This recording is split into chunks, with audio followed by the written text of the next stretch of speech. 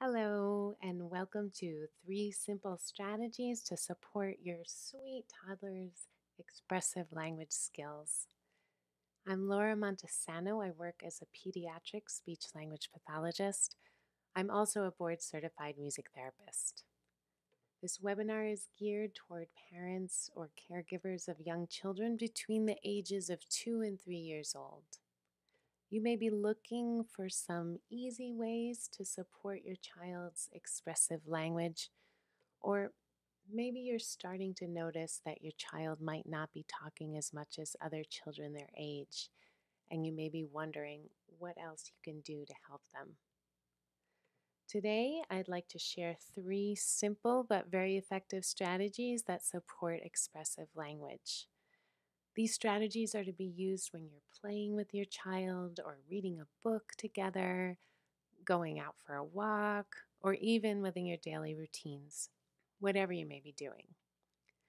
The first strategy is reduce questions. So, we all do this. We tend to fall into questioning What's this? What's that? What are you doing? What does the dog say? Where is it? We want to hear our children talk, so we ask them questions and hope that they'll respond. Questions are part of conversation. I don't want to say that questions are bad by any means, but when we ask questions, especially a lot of questions, it does put a certain amount of pressure on the child. And if talking is something that's more challenging for the child, it might not be the most effective strategy. So let's take a step back and notice how much we're questioning and see if we can reduce the number of questions and see what we can do instead. And that leads us to our next strategy, which is name and describe. So rather than asking, what's this, what's that, let's name what it is. Let's tell them Let's demonstrate or model what we want them to say. For example, if you're taking a walk outside, you can be pointing and naming what you see. You may point and say, Look, airplane, and maybe make a sound. If your child is playing with toys, you can describe what they're doing. For example, with their toy cars, you might say something simple like go or go up or down, down, down. Simple descriptions like you're narrating. When you do this, you're modeling language for them. They're hearing the word, which may give them more confidence and allow them the opportunity to imitate or even spontaneously make a sound or say something to comment on what you're doing or saying.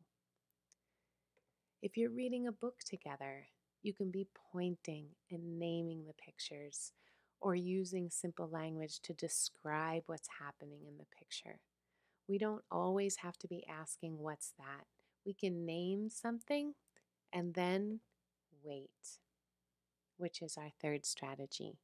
Wait. Just like that. That was three seconds. I encourage you to give that a try. Use pauses in your speech. Slow down and leave some space for them to respond. You can even count to three in your head before you say something else. If we want some kind of response from a child, we need to remember to slow down and leave room for a response. We all get caught up in what we're doing and moving a little quicker than we realize and understandably so, there are things that need to get done, but we want to remember to slow down and leave some space for the child to respond in their own way.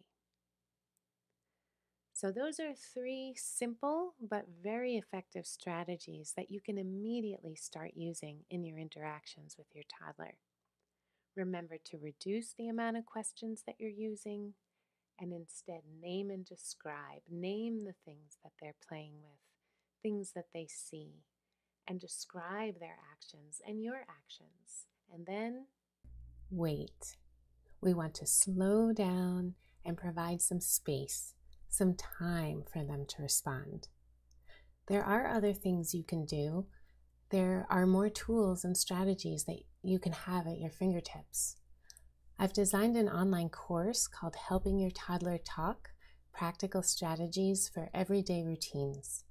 This course empowers parents and caregivers to move from wondering what to do to help their child talk to knowing specific and practical strategies and how to use them in everyday routines to support their child's communication. This course is for parents or caregivers of children between two and three years old, and specifically if you're feeling worried or concerned that your child's expressive language may be behind for their age. You see that they may be talking a little less than other children their age, and you're wanting some clear ideas on what else you could be doing at home to help. Or maybe you already have your child on a waiting list to receive an evaluation for speech and language, and you're wanting to get started. You're looking for some clear instruction on what you can do.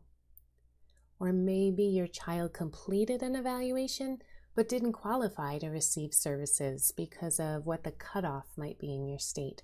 So you're still looking for some support on what else you can do. Or it could be that your child has some kind of diagnosis that includes a delay in speech and language, and you're looking for additional support. If any of these scenarios resonate with you, let me tell you a little more about the course. It's organized into seven chapters, one chapter for each week, except for the first week, you have access to chapters one and two. Each chapter addresses a specific strategy that you can immediately start using in your daily routines.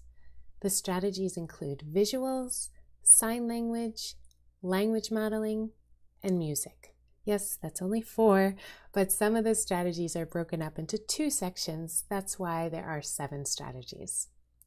Each chapter begins with a 20 to 30 minute video addressing that specific strategy of the week, why it's effective, how to use it, and real life examples. And each chapter ends with a challenge for the week, which gives you the opportunity to try out the strategy. Accountability tools, outlines, cheat sheets, and video tutorials are included each week. I understand that being with a toddler, you have limited time, so I made the tools ready for you at your fingertips. The challenges are practical and drawn from experience and evidence based practice. Who am I designing this course? Well, I've been working in the homes of families with young children for 20 years, first as a music therapist and then as an early intervention speech language pathologist. So I tend to use music among other tools in my work. To reach more families, I decided to create this online course so it's convenient for you. You can tune in when it works for your schedule, when you have time, and you can start implementing the practice as soon as you're ready. I do want to be clear that I am a certified speech language pathologist. However, this course is not online speech language therapy. This course is giving you the information and the tools and clear examples of how to use it. As the parent or caregiver, you take responsibility for your practice and your interpretation of the teachings and the techniques. I've honed in on the strategies and the tools that I find to be most effective, and I've laid them out here in a systematic way. So, week by week, you can be plugging them into your routines and naturally be working on expressive language with your child. When you complete the Helping Your Toddler Talk course, you'll not only have the tools and understanding on how to help your child, but you'll have more confidence in your skills and these skills will pave the way for more success for your child.